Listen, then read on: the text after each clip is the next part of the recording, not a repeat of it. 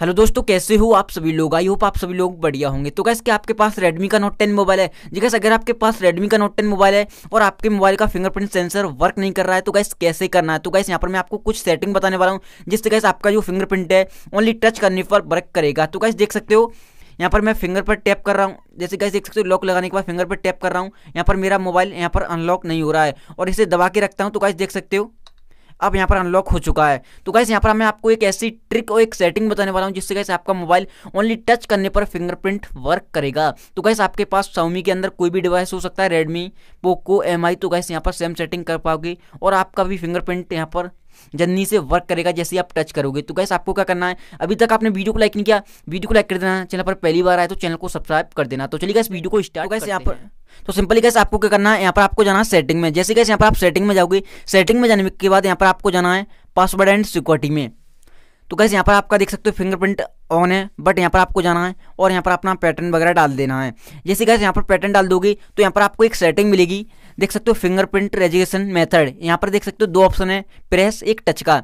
अगर कैसे आपको इंस्टेंट फिंगर यहाँ पर जैसे ही टच करो, तैसे ही अनलॉक करना है मोबाइल को तो कैसे यहाँ पर आपको टच पे क्लिक कर देना है। वैसे कैसे आपने नया मोबाइल लिया होगा, या आपके पास मोबाइल आया होगा तो यहाँ पर प्रेस वाला ऑप्शन होगा। इसीलिए यहाँ पर वर्क नहीं करता, जल्दी से आपको दबा के रखना पड़ता है, तभी वर्क करता है। तो कैसे आपको क्या करना है, यहाँ पर टच वाले ऑप्शन पर क्लिक कर देना है, और आपका जो फिंगरप्रिंट है, और दो मिनट में ही वर्क करने लगेगा। देख सकते हो कैसे यहाँ पर, अब आपको सिंपल सा यहाँ पर जैसे टच करोगे देख सकते हो कैसे एक ही बार में यहाँ पर टच करोगे।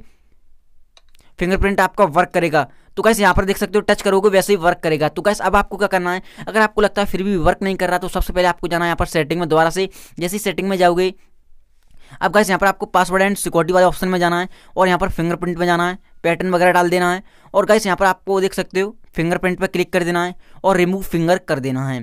अब गैस आपको दोबारा से फिंगरप्रिंट ऐड कर लेना है। देख सकते हो गैस यहाँ पर मैं आपके सामने दोबारा से फिंगर ऐड करके दिखा देता हूँ।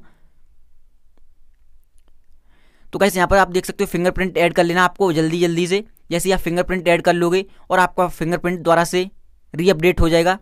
और यहाँ पर आपको जो प्रेस था वहाँ पर टच पे क्लिक कर देना है। करने के बाद यहाँ पर आपका टच पे रखना है। प्रेस होगा वैसे टच पे रखना है। अब आपका फिंगरप्रिंट है इंस्टेंट वर्क करेगा। और आप चाहें तो अनलिमिटेड फिंगर ऐड कर पाओगे ऐड फिंगरप्रिंट पे जाकर। तो आप चाहें तो अनलिमिटेड फिंगरप्रिंट ऐड कर सकते हो, जिस भी फिंगर से आप यहाँ पर खुलना चाहें कर सकते हो। अब गाइस यहाँ पर आपका जो फिंगरप्रिंट है इंस्टेंट काम करेगा, देख सकते हो आपके सामने लाइव प्रूफ में यहाँ पर दिखा रहा हूँ। बहुत ही जल्दी यहाँ पर आपने फिंगरप्रिंट यहाँ पर अपडेट कर दिया है और टच करने पर ही यहाँ पर आपका फिंगर देख सकते हो गाइस यहाँ पर ओनली टच करने पर आपका फिंगरप्रिंट से आपका मोबाइल अनलॉक हो जाएगा। अगर गाइस आपको लगता है फिर भी यहाँ पर आपका फिंगर वर्क नहीं कर रहा है तो आपको एक बार क्या करना है सेटिंग में जाना है। सेटिंग में जाने के बाद गैस यहाँ पर आपको जाना है ऐप्स में। जैसे ही आप ऐप्स में जाओगे, यहाँ पर आपको एक ऑप्शन मिलेगा मैनेज ऐप का, और यहाँ पर एक ऑप्शन मिलता है आपको सर्च बार का। तो यहाँ पर आपको क्या करना है? सर्च करना है एस बाई कहीं यहाँ पर आपको दो ऑप्शन मिलेंगे सिस्टम यूआई और एक सिस्टम लॉन्चर तो सबसे पहले सिस्टम यू को क्लियर कैची कर देना है? और यहाँ पर आपका सिस्टम लॉन्चर है, उसे भी क्लियर ऑल डाटा कर देना है। इससे कैसे क्या होता है? आपका जितना भी कोई बग इशू होता है, या कोई प्रॉब्लम हो जाती है मोबाइल में, एक तरह से आपका मोबाइल क्लीन हो जाता है, और कोई भी एप्लीकेशन डिलीट नहीं होता है। आपको परमिशन वगैरह द्वारा से अलाउ वगैरह करनी होती हैं और आपका एप्लीकेशन वगैरह इधर उधर सेट हो जाएगा। जैसे कि यूट्यूब वगैरह यहाँ पर आ जाएँगे तो आपको द्वारा से सेट कर लेने हैं। तो कैसे यहाँ पर आपको क्लियर ऑल डाटा कर देना है। फिर से फिंगरप्रिंट ऐड करना है द्वारा से और यहाँ पर फिर से ट्राई करना है। आपका कैसे यहाँ पर फिंगरप्रिंट यहाँ पर जट से वर्क करेगा। देख सकते हो कैसे आपके सामने लाइव प्रूफ मैंने बताया है। आपका वैसे प्रेस पे होगा तो आपको टच पे क्लिक कर देना है। तो आप यहाँ पर जैसे यहाँ टच करोगे तो आपका मोबाइल तुरंत ही अनलॉक होगा। तो गैस आप बताना आपको ये सेटिंग कैसी लगी? सेटिंग बढ़िया लगी तो लाइक कर देना। चैनल पर पहली बार आए तो सब्सक्राइब कर देना, क्योंकि हम ऐसे इंटरेस्टिंग यूजफुल वीडियो अपने चैनल पर लेके आते रहते हैं। तो thank you so much guys आज की वीडियो में। बस इतना ही।